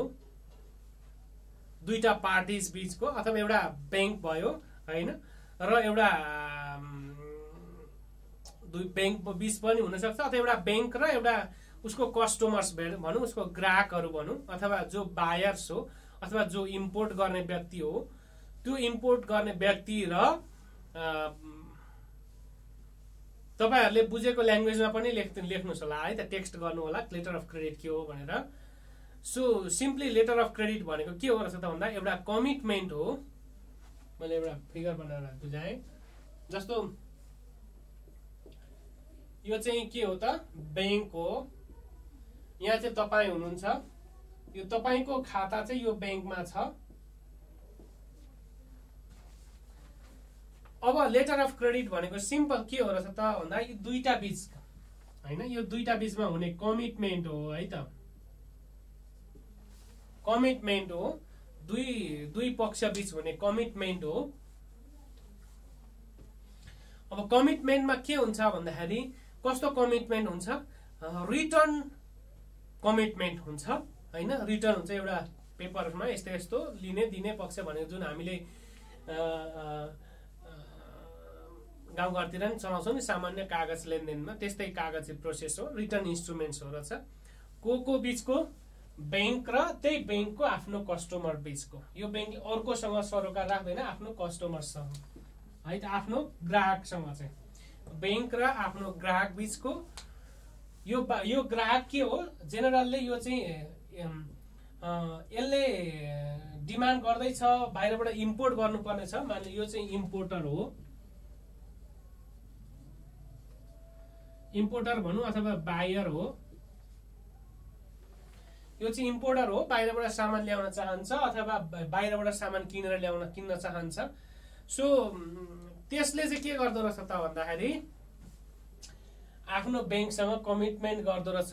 त्यहाँ के के राखि राखेको हुन्छ त भन्दाखेरि एउटा सर्ट एन्ड भ्यालु यति भ्यालु बराबरको काउन्टर भ्यालु भनेर हुन्छ। त्यो काउन्टर भ्यालु बराबरको चाहिँ पेमेन्ट गरिदिनु है मेरो तर्फबाट भन्ने कुरा चाहिँ उसले राखेको हुन्छ। तर त्यो गर्दाखेरि के ब्याङ्कले सिधै पे गर्छ त? यसले भन्छ यो ब्याङ्कलाई गर आफ्नो ब्याङ्कलाई होइन? अर्को ट्रान्जेक्सन कुनै अर्को थर्ड जो सेकेन्ड कन्ट्रीबाट यति यति मैले सामान ल्याउँदैछु त्यो चाहिँ पेमेन्ट गरिदिए है भन्छ। त्यो चाहिँ त्यसको लागि के भन्छ त यसले? ओके भन्न सक्छ कमिटमेन्ट गरेर ओके भन्न सक्छ तर ब्याङ्कले सिधै पेमेन्ट गर्दैन। यसलाई यसको अनुहार हेरेर त पे गर्ने होइन? के गर्ने हो? तँसँग मैले पेमेन्ट गरिदिएँ भने तँसँग के छ? कोलेटरल कोटा कोलेटरल माग्छ। ब्याङ्कले योसँग कोलेटरल माग्छ। कोलेटरलको रूपमा जग्गा हुनसक्छ घर हुनसक्छ हामीले जे बुझेका छौँ। होइन जेनरली फिक्स डिपोजिट सर्टिफिकेट्सहरू हुनसक्छ। जे छ कोलाटरल माग्छ सुनहरू पनि हुनसक्छ। अब सुन त त्यत्रो अब लाखौँको ट्रान्जेक्सन हुन हुने अवस्था रहेछ भने त्यत्रो नहोला पनि तर जे छ कोलाटरल स्ट्रङ कोलाटरल भएपछि यसले चाहिँ त्यो धितो मार्फत चाहिँ धितो मार्फत चाहिँ अब के गर्दछ त? कोलाटरल भनेको धितो हो। सो त्यो बारेमा चाहिँ अब चाहिँ पे गरिदिँदो रहेछ। तर पे गर्दाखेरि फेरि पनि अझै त्यहाँ विभिन्न गाइडलाइन्सहरू हुन्छ सबै सामानहरू जे बाहिरबाट म इम्पोर्ट गर्छु भन्दा त्यो पाइँदैन। नेपाल सरकारले जस्तो नेपालको कसैले इम्पोर्ट गर्न चाहन्छ भने नेपाल सरकारले यस्ता यस्ता सामग्रीहरू यति यति क्वान्टिटीमा यसरी यसरी यस्तो यस्तो स्ट्यान्डर्डमा यो यो क्वालिटीमा चाहिँ ल्याउन पाउने भनेर त्यहाँ गाइडलाइन बनाएको छ। त्यो गाइडलाइन मिट भयो भने मात्रै अनि यो ब्याङ्क चाहिँ ओके हुँदो रहेछ। ती गाइडलाइन मिट भएन भने फेरि पनि पाइँदैन। त्यो हामी हेरौँला के के सामानहरू जस्तो मानिलिउँ औषधिहरू ल्याउनु पर्यो बाहिरबाट कस्तो खालको औषधिहरू ल्याउन दिने होइन? नेपालमा त्यसको केही प्रोसेस छ केही गाइडलाइन छ केही स्ट्यान्डर्ड मतलब क्वालिटीहरू होला होइन? त्यस्तै गरेर बाहिरबाट सामानहरू अरू सामग्रीहरू पनि हुनसक्छ। ती सामग्रीहरू ल्याउँदाखेरि त्यसका क्वालिटी भयो अनि त्यो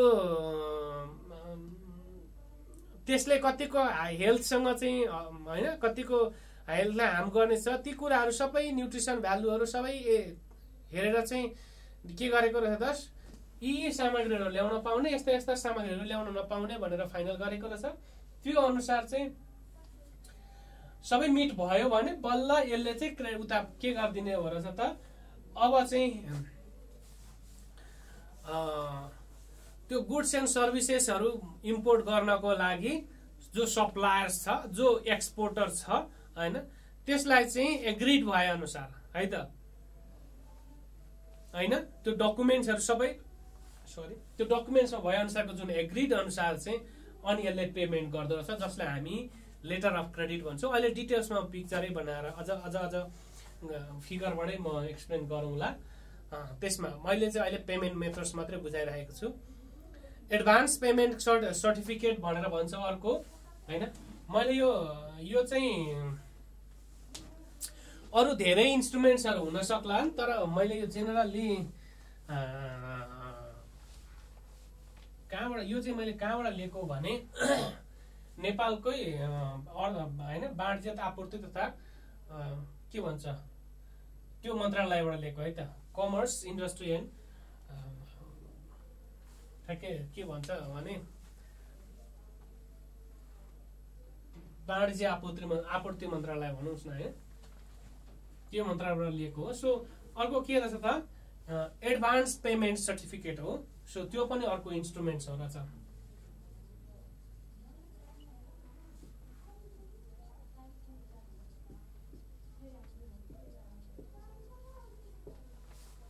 advance payment certificates so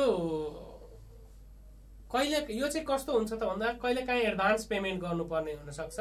advance payment गर्दाखेरि जस्तो अलिकति होइन अलरेडी पेमेन्ट नगरुन्जेलसम्म चाहिँ प्रडक्ट्सहरू बाहिरबाट मगाउन सकिएन इम्पोर्ट गर्न सकिने अवस्था नहुन सक्छ होइन? सो त्यस्तो सिचुएसनमा चाहिँ यो सर्टिफिकेट अथवा यो इन्स्ट्रुमेन्ट्सहरू युज गरिन्छ। जस्तो बायर्सले कुनै सामान बाहिरबाट किन्न सक खोज्छ अथवा कुनै पनि कन्ट्रीबाट किन्न खोज्छ होइन? अथवा लेट्स नेपालले पनि नेपालले कुनै सामान बाहिर बेच्न खोज्छ त्यस्तो सिचुएसनमा किन्दा होस् या बेच्दाखेरि है त? होइन? अथवा जेनरली लेट्स चाहिँ नेपालले बाहिर सामान बेच्न चाह्यो त्यस्तो सिचुएसनमा के गर्यो त भन्दाखेरि केही एडभान्स होइन पेमेन्ट चाहिँ उसले गर्न लगायो नेपालले। लेट्स चाहिँ नेपाल मानिलिउँ तपाईँले तपाईँ चाहिँ काहीँ केही सामान एक्सपोर्ट गर्दै हुनुहुन्छ सिजिङलाई अब सिजिङबाट एडभान्सको रूपमा पेमेन्ट गर भनेर चाहिँ भन्नुहुन्छ। त्यस्तो सिचुएसनमा यो एडभान्स पेमेन्ट सर्टिफिकेट चाहिँ युज हुँदो रहेछ होइन? त्यस्तो सिचुएसनमा के हुँदो रहेछ त भन्दाखेरि इम्पोर्टर्सले जो इम्पोर्ट गर्ने हो त्यसले चाहिँ जुन सर्भिस छ अथवा जुन प्रोडक्ट छ त्यो रिसिभ हुनुभन्दा अगाडि चाहिँ केही होइन केही सर्टेन अमाउन्ट केही इन्भोइस इन्भोइस पेमेन्ट गर्दो रहेछ जसलाई हामी एडभान्स पेमेन्ट सर्टिफिकेट्स भन्छौँ। र यो हामीले कमन युज गरिरहेको अथवा बुझिरहेको जानिरहेको नै इन्स्ट्रुमेन्ट्स हो। अर्को ब्याङ्क ग्यारेन्टी भन्ने हुँदो रहेछ।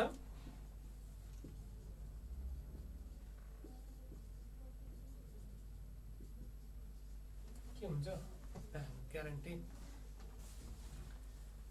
ब्याङ्क ग्यारेन्टी होइन? के हुँदो रहेछ त भन्दाखेरि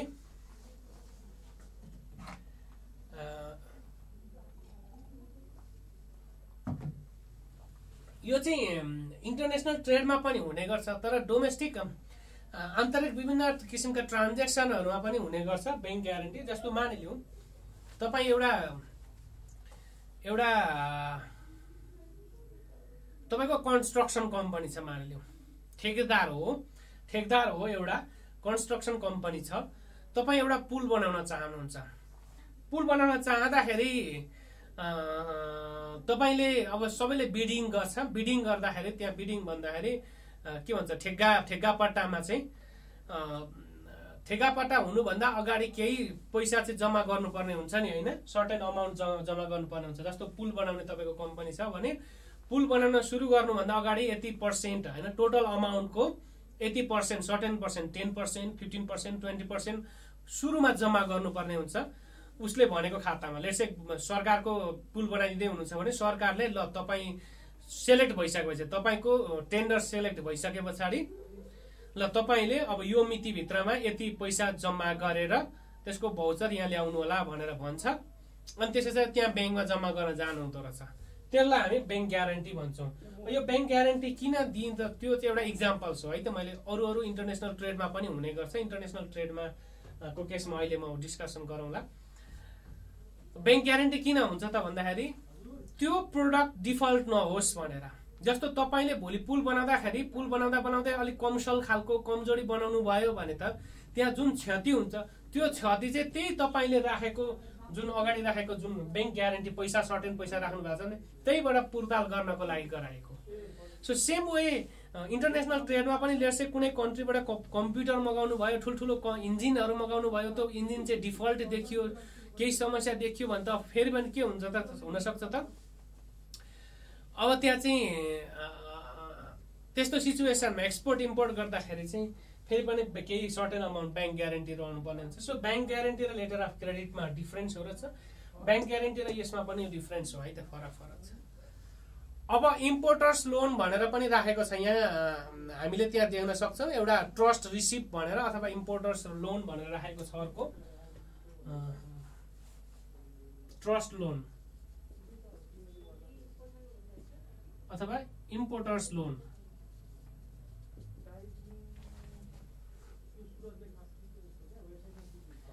ट्रस्ट लोन अथवा इम्पोर्टर्स लोन।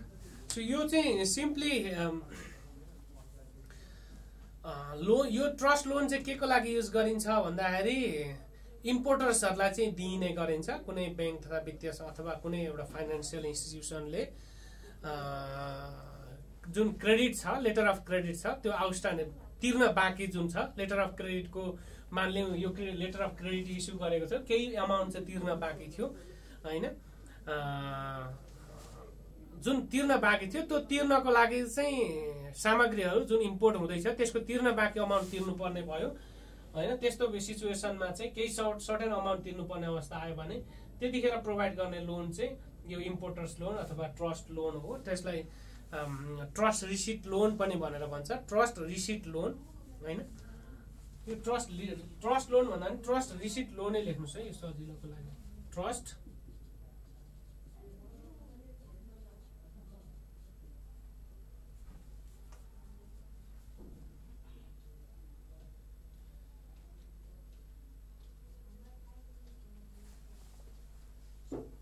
ठिक छ?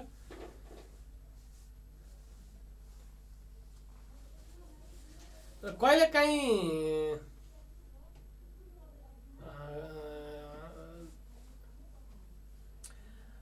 के पनि हुन्छ भने जस्तो सिपिङ गर्दै गर्दाखेरि होइन जुन एउटा इरेभोकेबल लेटर अफ क्रेडिट हुन्छ त्यस्तो वेबाट सिपिङ गर्दै गर्दाखेरि पनि त्यहाँ विभिन्न किसिमको ब्याङ्कहरूले चाहिँ अर्डर अथवा के कन्ट्र्याक्ट अनुसार चाहिँ केही होइन एक्सपोर्ट भनौँ अथवा इम्पोर्ट्स त्यसमा चाहिँ पेमेन्ट गर्नुपर्ने हुन्छ।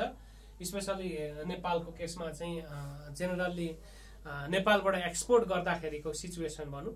सो त्यो सिचुएसनमा पनि के हुँदो रहेछ त यो ट्रस्ट रिसिट लोन भनौँ अथवा इम्पोर्टर्स लोन चाहिँ युज हुँदो रहेछ। यसमा हामी प्रत्येकमा अलिक पछाडि डिटेलमा डिस्कसन गर्छौँ है। त अहिले मैले सरस्वती मात्रै भनेको अर्को फाइभमा के रहेछ भने जस्तो अर्को चाहिँ प्याकिङ क्रेडिट भन्छ अथवा प्रि सिपमेन्ट लोन भनेर पनि भन्छ। प्याकिङ क्रेडिट भनेर चाहिँ प्याकिङ गर्नको लागि भनौँ अथवा प्रि सिपमेन्ट होइन? त्यो उहाँबाट सिप सिपमेन्ट हुनुभन्दा अगाडि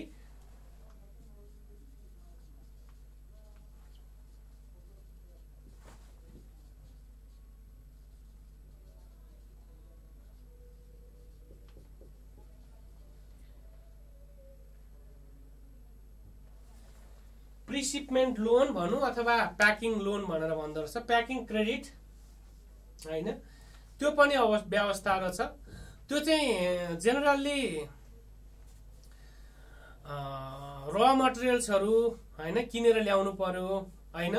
अथवा म्यानुफ्याक्चरिङ गुड्सहरू किनेर ल्याउनु पर्यो अथवा विभिन्न प्रोसेसिङहरू होइन?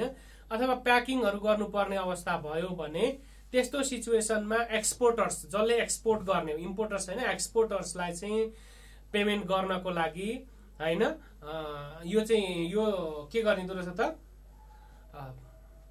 यो प्याकिङ लोन भनौँ अथवा प्रिसिपमेन्ट लोन चाहिँ प्रोभाइड गरिँदो रहेछ। यो पनि एउटा इन्स्ट्रुमेन्ट्स नै हो रहेछ होइन अथवा एउटा मेथड्स नै हो रहेछ पेमेन्ट्सको लागि। के को लागि भन्छ त? यो चाहिँ हुन्छ भन्दाखेरि जेनरली यो पनि इरेभोकेबल के हुँदो रहेछ त? लेटर होइन? लेटर हुँदो रहेछ अथवा कन्ट्र्याक्ट हुँदो रहेछ। एक्सपोर्ट्सको लागि होइन? नेपालबाट जस्तो चाहिँ बायर्सले चाहिँ एक्सपोर्ट्सको लागि चाहिँ प्लेस गर्ने गर्दो रहेछ र त्यसमा चाहिँ पेमेन्ट हुँदो रहेछ। ठिक छ? अर्को पोस्ट सिपमेन्ट लोन भन्ने हुन्छ। पोस्ट सिपमेन्ट सिपमेन्ट लोन भनेको चाहिँ जस्तो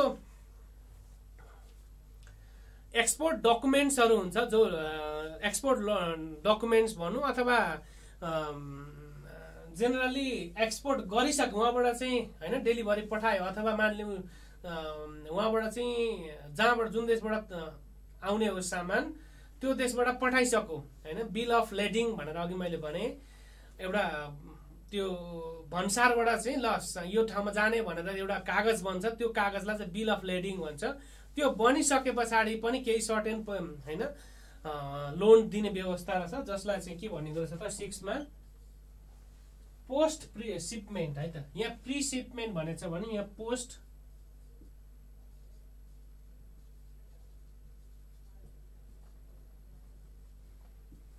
पोस्ट सिपमेन्ट लोन भनेर राखेको रहेछ। So these are the payment methods नेपालले युज गर्दै आएको पेमेन्ट मेथड्सहरू चाहिँ यी हुन्। अब केही गाइडहरू छन् जस्तो कस्तो गर्नुपर्छ कसरी हुन्छ भन्ने कुरामा सायद आज लेटर अफ क्रेडिटमा हामीलाई सिलेबसमा दिए अनुसार letter of credit and bank guarantee भनेर भनेको छ र अन्य पनि भनेको छ होला अदर्स भनेर भनेको छ अथवा कि त एसेट्रा भनेको हुनुपर्छ।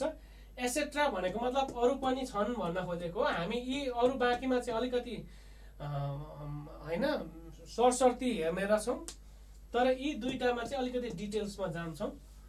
सम्भवतः आज भ्याइँदैन होला। अब म तपाईँहरूलाई के छ होइन नेपालमा हुने जुन इम्पोर्टिङ प्र्याक्टिसहरू अथवा त्यसमा कसरी इम्पोर्ट हुन्छ एक्सपोर्ट हुन्छ त्यो सम्बन्धी सरसर्ती भन्छु त्यसरी त्यसका केही रुल्सहरू छन्।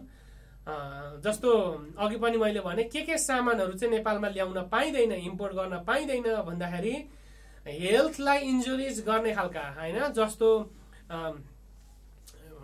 विभिन्न किसिमका के भनौँ नार्कोटिक ड्रग्सहरू भनौँ होइन जस्तो अफिमहरू भयो होइन ती कुराहरू चाहिँ अनि लिक्वरहरू होइन पेय पदार्थहरू त्यो जसमा चाहिँ सिक्सटी पर्सेन्टभन्दा धेरै अल्कोहल भएको त ल्याउनै पाइँदैन होइन ती कुराहरू रहेछ। अनि हात हतियारहरू चाहिँ होइन त्यो पनि इम्पोर्ट गर्न पाइँदैन। कुनै कुनै पनि किसिमको त्यो पड्किने दसैँ तिहारमा पड्काउने हुन्छ नि होइन के भन्छ त्यो फायर एक्स जे होस् त्यो एक्सप्लोसिभ आइटम्सहरू जुन हुन्छ नि पड्किने खालका ती कुरा त्यस्ता आइटम्सहरू पनि ल्याउन पाइँदैन होइन? ती कुराहरू चाहिँ के रहेछ त भन्दाखेरि प्रोहिबिसन गरेको कुराहरू होइन? अथवा वकी टकीहरू जुन कम्युनिकेसनमा युज हुने वकी टकीहरू भयो ती वायरलेस सिस्टम्सहरू भयो होइन? अरू त्यस्तै इक्विपमेन्ट्सहरू अनि जस्तो भ्यालुएबल मेटल्सहरू सुन पनि ल्याउन दिँदो रहेन रहेछ होइन? अथवा ज्वेलर्सीहरू पनि दिँदो रहेन रहेछ। ब्याग ब्यागेजहरूमा रेगुलेसन हामीलाई गरेको छ। फायर क्र्याकर यस नभिजी फायर क्र्याकर मलाई त्यो भन्नलाई कन्फ्युज भइरहेको थियो। फायर क्र्याकर थ्याङ्क यू होइन? अनि अरू अब बिफ आइटम ने होइन? गाई गाई गोरुको मासु त्यसको त्यसका आइटम्स होइन? जेनरली त्यसको प्रोडक्ट है त मिटसँग अब त्यसको मिल्क प्रडक्ट चाहिँ फेरि आउँछ तर मिट आइटम होइन त्यसका बिफ भनौँ हिल भनौँ होइन ती कुराहरू त्यस्ता प्रडक्ट्सहरू पनि ल्याउनलाई चाहिँ रोक लगाएको छ। ती त्यस्ता रोक लगाए भन्दा बाहेक अरू प्रोडक्ट्सहरू जो सर्टेन डकुमेन्ट्स फुलफिल गरेर आउँछ भने त्यसमा चाहिँ ट्रेड फाइनेन्सिङ हुने गर्छ नेपालमा ठिक छ? अब तर केही त्यसका प्रोभिजन छन्। कुन प्रोडक्ट ल्याउँदा कसरी त्यसका प्रोसेस हुन्छन् भन्ने कुरा म तपाईँहरूलाई अलिकति पाँच मिनट म भन्छु। सरस्वती यो चाहिँ तपाईँहरूलाई एक्स्ट्रा नलेजको लागि हो? अरू चाहिँ हामी फर्मल्ली चाहिँ यति नै गरौँ आज। जस्तो तपाईँले जुन रेस्ट्रिक्टेड सामग्रीहरू छ तिनीहरू ल्याउनलाई चाहिँ लाइसेन्स चाहिँदो रहेछ। काहीँ कहीँबाट पर्मिसन चाहिन्छ कहीँबाट अप्रुभल चाहिन्छ। किन भन्ने कुरा यदि त्यो जेन्युन लाग्यो रिजन भने मात्रै दिन्छ नभए त्यो ल्याउन दिँदो रहेन रहेछ। तर अरू बाँकी केसमा चाहिँ त्यस्तो लाइसेन्सहरू नै चाहिने अवस्था छैनन् बाहिरबाट इम्पोर्ट गर्दा नेपालमा जे पनि ल्याउन पाइँदो रहेछ। जस्तो फर इक्जाम्पल तपाईँले कुनै बोट बिरुवाहरू प्लान्ट्सहरू ल्याउन चाहनुभयो नेपालमा भने त्यसका के छन् त भन्दा केही प्रोसेसहरू चाहिँ छन्। जस्तो प्लान्टको प्लान्ट क्वारेन्टाइन क्वारेन्टाइन अफिसमा चाहिँ त्यसले अप्रुभ अप्रुभ गर्नु पर्दो रहेछ। त्यहाँ डिटेलमा तपाईँले किन ल्याउनु भएको ल्याउने प्रयोजन के हो त्यसका बेनिफिट्स के हो ती सबै कुराहरू लेखेर अफिसलाई दिएपछि उसले क्वारेन्टाइनले चेक जाँच गर्छ। सबै हेरिसके पछाडि अनि बल्ल के गर्दो रहेछ त उसले चाहिँ उसले रिकमेन्डेसन लेटर दिँदो रहेछ होइन एउटा सिफारिस दिँदो रहेछ र त्यो सिफारिस एप्लाई गरेपछि अब तपाईँले इम्पोर्ट गर्न पाउनु हुँदो रहेछ होइन। अब अरू त्यस्ता प्रोडक्ट्सहरू जस्तो एग्रिकल्चरसँग पनि हुन सक्लान् कतिपय प्रोडक्ट्सहरू होइन? एग्रिकल्चरका प्रोडक्टहरू हामीले जस्तो माछा साछा के के ल्याउन पनि मिल्दैन होकेर ती कुराहरू पनि त्यस्तै रहेछन्। होइन? सम्बन्धित डिपार्टमेन्ट्सको चाहिँ के चाहिँदो रहेछ त? अप्रुभल चाहिँदो रहेछ। सम्बन्धित मन्त्रालयको अप्रुभल चाहिँदो रहेछ। अनि चाहिँ त्यो के हुँदो रहेछ त? हुँदो रहेछ। जस्तो मानलिउँ बाहिरबाट उल होइन? उल भनेको जुन उनीको धागो भनौँ न त्यो अथवा जेनरली कार्पेटको लागि युज हुने जुन उल हामीले इम्पोर्ट गर्छौँ। त्यो उल इम्पोर्ट गर्दा जस्तो पाए त्यस्तै इम्पोर्ट गर्न दिने कि नदिने भन्ने कुरा होला। कति त्यो कतिको मोटाइमा दिने कतिको क्वालिटीमा दिने कति लेन्थसम्मको दिने ती सबै स्ट्यान्डर्ड एउटा चाहिँ डेभलप गरेको छ। होइन? जस्तो मानले कार्पेटको लागि जुन उल आउँछ बाहिरबाट त्यसमा चाहिँ मिनिमम चार इन्च चार इन्चसम्मको चाहिँ लेन्थ हुनुपर्ने होला। होइन? चार इन्चसम्मको अनि थर्टी एट थर्टी एट त्यसको के माइक्रोन्स के भन्छ त्यो बराबरको चाहिँ थिकनेस हुनुपर्ने होला होइन? सो त्यो सबै के हुन्छ हुँदो रहेछ त भन्दाखेरि एउटा क्लियरेन्स चाहिँदो रहेछ। त्यो स्ट्यान्डर्ड मिट गरिसके पछाडि अनि चाहिँ बल्ल अप्रुभलको लागि तपाईँ ती डकुमेन्ट्सहरू लिएर चाहिँ आफ्नो सम्बन्धित ब्याङ्कमा चाहिँ ल मेरा यी डकुमेन्ट्सहरू सबै सही छन्। अब म यस्तो इम्पोर्ट गर्छु भन्न सक्नु हुँदो रहेछ। होइन? अब जस्तो सबै डकुमेन्ट्स पुऱ्याएर तपाईँले इम्पोर्ट गरिसके पछाडि चाहिँ त्यहाँ होइन त्यो कस्टममा चाहिँ रोक्न चान्सेस हुँदो रहेनछ रोक्दो रहेन रहेछ र उसले चाहिँ कस्टमले चाहिँ के गर्दैन भन्दाखेरि प्रि सिपमेन्ट हुनुभन्दा उहाँबाट सामान आउनुभन्दा अगाडि नै चेक जाँच गर्नु चेक जाँच गर्नुपर्छ भनेर चेक जाँच गर्ने चाहिँ हुँदैन। तर बोर्डरमा आइसके पछाडि चाहिँ आवश्यक जुन क्वालिटी त्यो स्ट्यान्डर्ड अघि मैले भने ती कुराहरू क्वालिटीहरू त्यो मिट भएको छ कि छैन? ती कुराहरू चाहिँ चेकिङ चेकिङ हुँदो रहेछ। यदि त्यो भयो भने ओके नभए फेरि त्यहीँ रोकिदिँदो रहेछ अथवा त्यसलाई चाहिँ डिपोर्ट गरिदिँदो रहेछ back to the origin country है? सो के रहेछ त भन्दाखेरि यो चाहिँ सिम्पली एउटा प्रोसेस हो रहेछ। त्यो कुन प्रडक्ट तपाईँले इम्पोर्ट गर्दै हुनुहुन्छ त्यसका के के प्रोसेस छन् त्यो अनुसार त्यो प्रोसेसहरू सबै गरिसके पछाडि बल्ल त्यो डकुमेन्ट अनुसार चाहिँ गर्नुहुँदो रहेछ। अब त्यसको लागि चाहिँ तपाईँले काहीँ कुनै ब्याङ्क मार्फत गर्नुभयो भने त्यो ब्याङ्कमा एलसी एकाउन्ट खोल्नु पर्यो होइन? लेटर अफ क्रेडिटसँग रिलेटेड एकाउन्ट खोल्नु पर्यो। तपाईँले चाहिँ तपाईँको सबै डिटेल डकुमेन्ट्सहरू तपाईँ के प्रोडक्ट गर्नुहुन्छ के ब्याङ्क काम गर्नु के काम गर्नुहुन्छ तपाईँको प्रोडक्ट के हो त्यो कतिको एक्सपोर्ट हुन्छ ती सबै कुरा होइन? लाइबिलिटिजहरू तपाईँ सबै कुरा उसले हेर्छ। अनि त्यो हेरिसके पछाडि तपाईँको क्रेडिट लिमिट कति दिन सकिने हो कति स्याङसन गर्न सकिने हो ती सबै कुरा उसले चाहिँ हेर्छ है त? होइन? अनि त्यो हेरिसके पछाडि एउटा अब होइन केही टेलिग्राफिक ट्रान्सफर होला अथवा ब्याङ्क ड्राफ्टहरू त्यस्तै गर्न सक्छ पेमेन्ट्सको लागि होइन? अथवा इन्डियासँग गर्नुभयो भने अझ केही अलिकति सहज बनाइदिएको होला। इन्डियाभन्दा बाँकी अरू कन्ट्रीमा अलिकति अलिकति अझ बेसी धेरै डकुमेन्ट्सहरू चाहिँ राख्नुपर्ने होला है त? अब इन्डियासँग किन सहज भन्दाखेरि त्यहाँको ट्रेड्स ट्रेडिङ पेमेन्टसँग चाहिँ अलिकति मोर रिलायबल र होइन त्यसका कुनै डिस्प्युट्सहरू आइहाल्यो भने सेटल सेटल गर्न सजिलो हुने हिसाबले चाहिँ त्यो गरेको हुनसक्छ।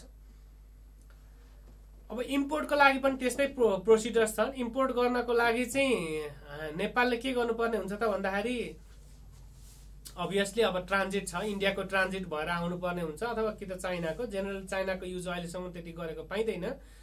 भलै चाइनासँग पनि ट्रे ट्रान्जिट ट्रेड एन्ड ट्रान्जिटको एग्रिमेन्ट गरे पनि ट्रेड इन्डियाबाटै ट्रान्जिट हुने गर्दो रहेछ। सो त्यसमा चाहिँ अब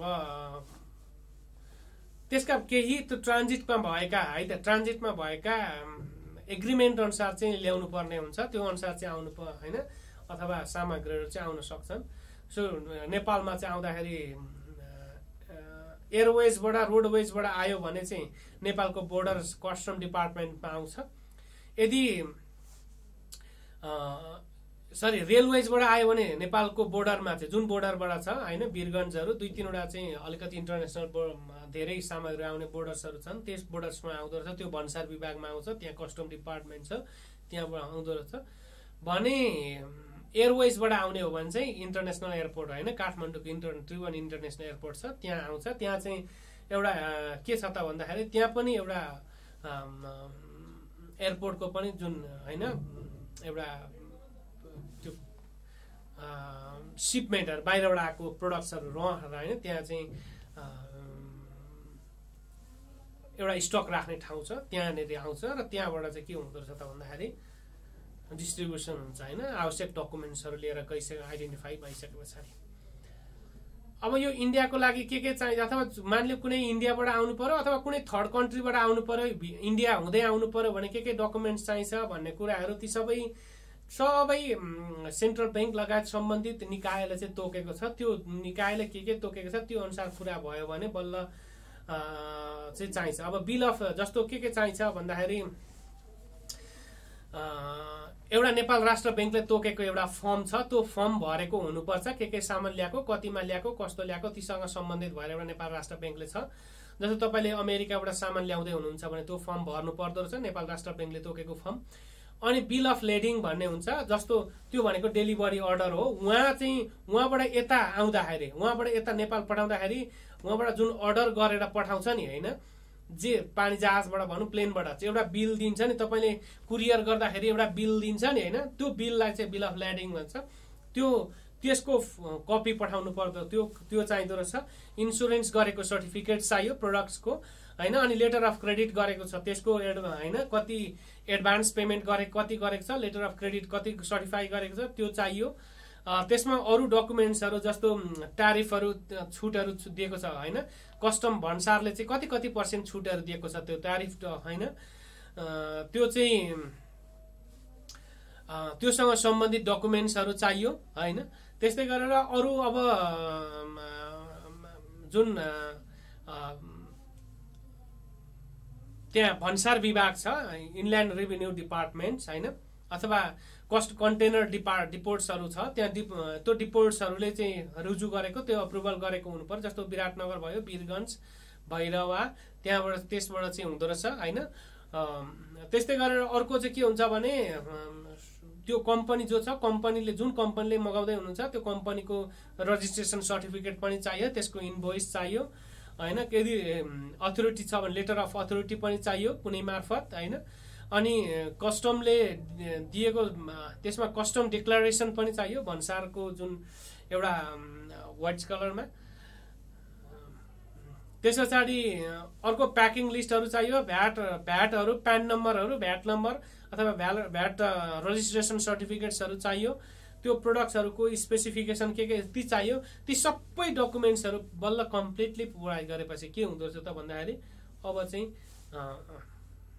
अनि ब्याङ्कले चाहिँ लेटर अफ क्रेडिट दिँदो रहेछ। बल्ल ब्याङ्कले लेटर अफ क्रेडिट दिने हो। ऊ चाहिँ ट्रस्ट यो चाहिँ जेन्युन छ है ठिक छ है सबै भनेपछि। ओके आज हामी यति नै गरौँ है त। भोलि हामी लेटर अफ क्रेडिट यी यसमा डिटेल्समा पढ्छौँ अनि यस पछाडि यसमा पढ्छौँ।